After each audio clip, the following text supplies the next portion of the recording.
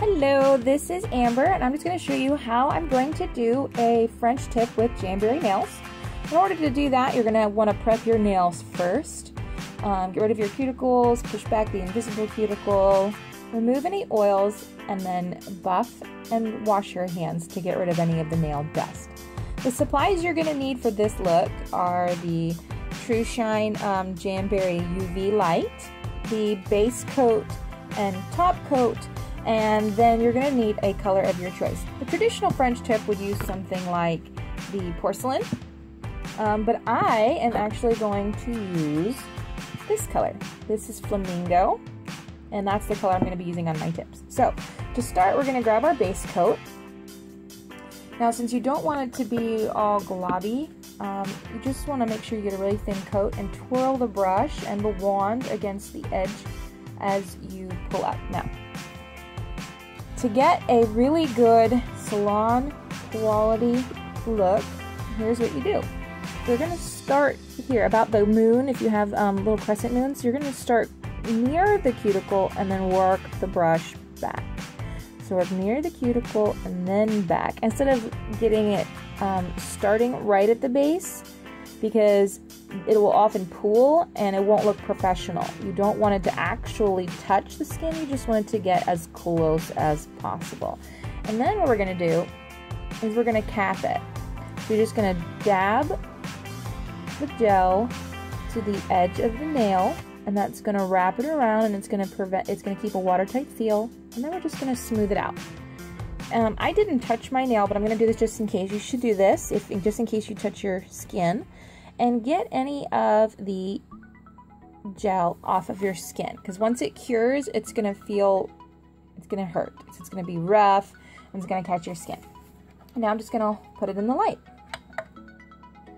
I hold the light when I do um, my thumbs because it's a it's a lot easier. Normally you'd be doing two thumbs at a time and then four of your fingers at a time you want to hold it in such a way so the nail remains flat because gel is a liquid and it does follow gravity. So hold it so that your thumbs are flat. And um, we'll fast forward this so that you don't have to wait all 45 seconds of me sitting here with the UV light. Okay, it's now cured and now it's time for the fun part. In order to do this, you're going to want to have a square brush. You can get this from makeup store or from Sally's, um, maybe an art store. I got this at TJ Maxx. So it was like $3 for a pack of like six different brushes. Super cheap. And it's nice to have on hand if you like doing nail art, okay? So now you're gonna get the color coat, whichever one you wanted for the color of your tip. I'm just mixing it up to make sure it's well mixed. And again, you wanna do a thin coat. Okay, so this is Flamingo. Swirling it around so that the color doesn't glob all over the wand and then run down and cause a mess. Okay, now what we're going to do is we're just going to push it in a thin, thin, thin, thin coat to where we want it.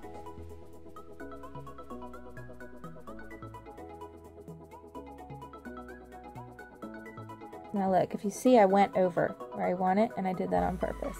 So I want to show you how nice it is when you use the brush. Okay, so that part's done, but now it doesn't look very clean, right? So we're just going to take your brush,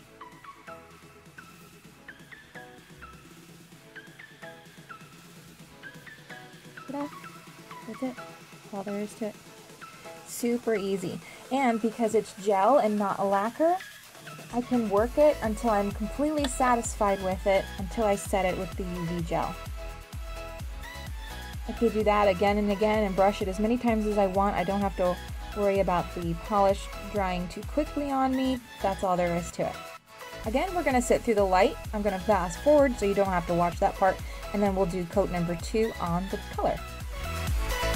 Alright, coat number one is done.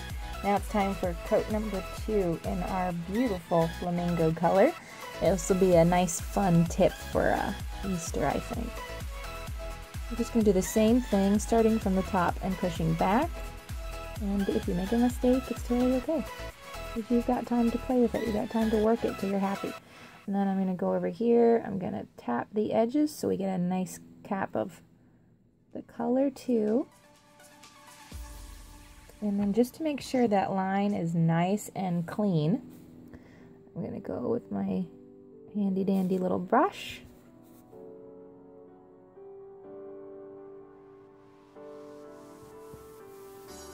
And that's it. And now we're going to go back to curing and you'll see me again when we'll do the top coat.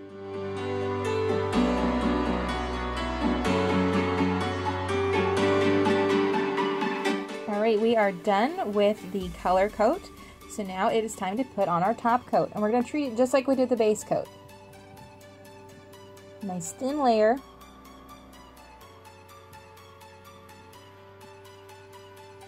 Starting from just near the cuticle and pushing the product back and then bringing it forward.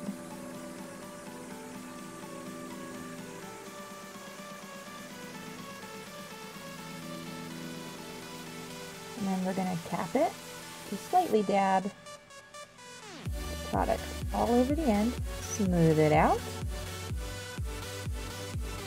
and that's it. To cure one last time. Okay, now that the top coat has cured, we just need to finish it off. All we have to do is clean off the top. There's going to be a little bit of a tacky residue. That's totally normal. Normal. It did cure just fine. So you're just going to take a rubbing a little cotton pad with some rubbing alcohol um, or one of the Jamberry nail prep wipes, maybe from your application kit. And you're just going to keep that until all the residue is off and you are done. Now to really finish it off and get a salon quality look, you want to finish it off with some cuticle oil just to really keep everything healthy and looking very nice. I'm going to be using the uh, Jamberry cuticle oil wand. I love this thing because it only comes out when you want it. Little handy brush doodad. You just click and brush and the oil only comes out when you click it. And that's it. Now you have a salon quality French tip manicure using gels at home. I hope you have fun. Thanks for staying tuned, and let me know if you have any other questions or want to see different techniques. Bye-bye. Bye.